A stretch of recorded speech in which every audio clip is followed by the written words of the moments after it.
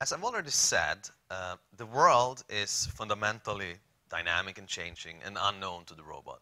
So it does not make sense to overplan and think very hardly about how do you act optimally given these assumptions about what the world looks like. That may make sense if you're designing controllers for an industrial robot at a manufacturing plant where the robot is going to repeat the same motion over and over and over again. You're going to do spot welding and you're going to produce the same motion 10,000 times in a single day. Then you overplan. Then you make sure that you're optimal. But if a robot is out exploring an area where it doesn't know exactly what's going on, you don't want to spend all your computational money on finding the best possible way to move because it's not actually going to be best because the world is not what you thought it was. So the key idea to overcome this that's quite standard in robotics is to simply develop a library of useful controllers. So these are controllers that do different things, like going to landmarks, avoiding obstacles. We saw one that tried to make robots drive to the center of gravity of their neighbors. Basically, we can have a library of these useful controllers, behaviors, if you will, and then we switch among these behaviors in response to what the environment throws at us. If all of a sudden an obstacle appears, then we avoid it. Then if we see a power outlet and we're low on battery, then we go and recharge. So we're switching to different controllers in response to what is going on.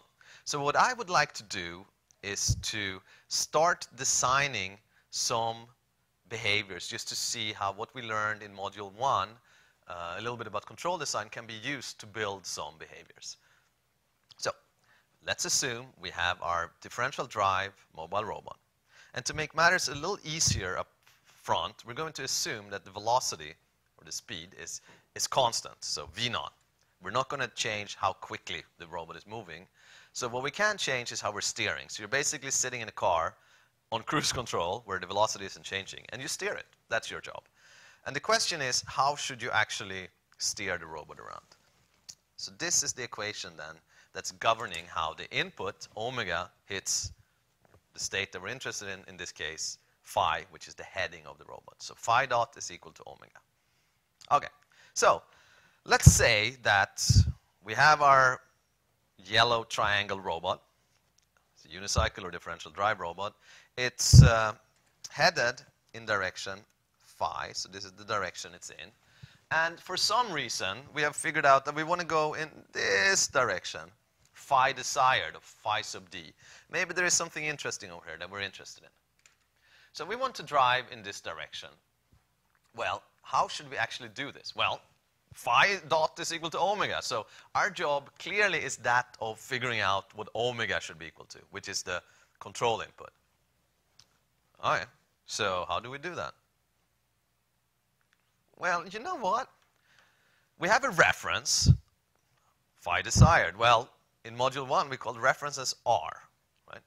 We have an error, meaning that compares the reference phi desired to what the system is doing, in this case phi, so it's comparing the headings. So we have an error, we have a reference. You know what?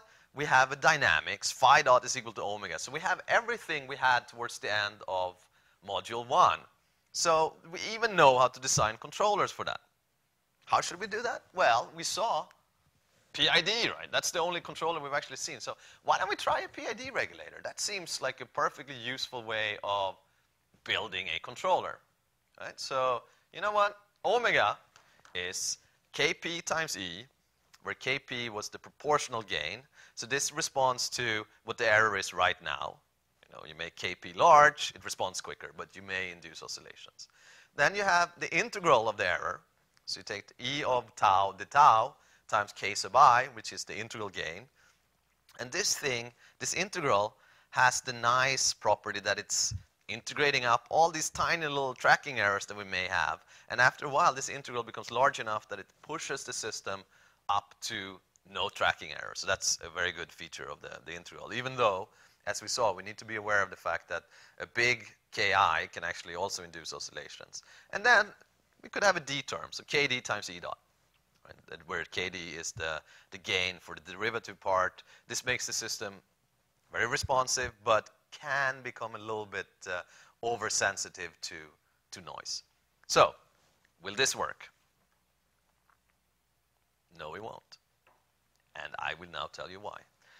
In this case, we're dealing with angles. And angles are rather peculiar beasts. Let's say that phi desired is 0 radians.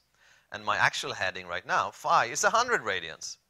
Then the error is minus 100 radians, which means that this is a really, really large error. So omega is going to be ginormous. But that doesn't seem right because 100 pi radians is the same as 0 radians, right? So the error should actually be zero. So we should not be naive when we're dealing with angles. And in fact, this is uh, something to be aware of, is angles are rather peculiar beasts, and we need to be, be dealing with them. And there are famous robotic crashes that have been caused by this, where the robot starts spinning like crazy, even though it shouldn't, but it's doing it because it thinks it's 200 pi off instead of zero radians off. So what do we do about it?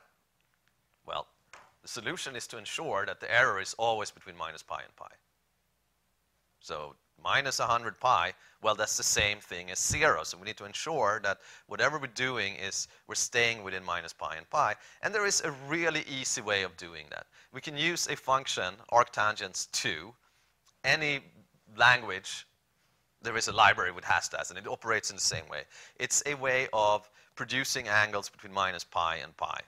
C++ has it, Java has it, MATLAB has it, whatever you, Python has it. So you can always do this. And how do you do that? Well, you take the angle that's now a million pi, right? And you take sinus of it, comma, cosine of it. So this is the same as saying that we're really doing arctan. So I'm going to write this as tan inverse sine E over cosine E. But arctan, or tan inverse, doesn't, it's not clear what that always returns, but arctan 2, where you have a comma uh, in it, you always get something that's within minus pi and pi. So here's what you need to do. Whenever you're dealing with angles and you're acting on them, it's not a bad idea to wrap one of these arctan 2 uh, lines around it to ensure that you are indeed having values that aren't crazy. So with the little caveat that we're going to use E prime instead of E, the PID regulator will work like a charm. Okay, so here is an example problem. We've already seen this picture. Uh, this is the problem of driving a robot, which is the little blue ball, to a goal, which is the sun, apparently. And uh, let's see if we can use this PID control design on Omega to design controllers that take us to the sun, or to the goal. Uh, and since we're dealing with obstacles and we're dealing with goal locations and we're also talking about behaviors, uh, at the minimum, we really need two behaviors. Go to goal and avoid obstacles. So what we're going to do over the next couple of lectures is develop these behaviors and then deploy them on a robot and see if they're any good or not.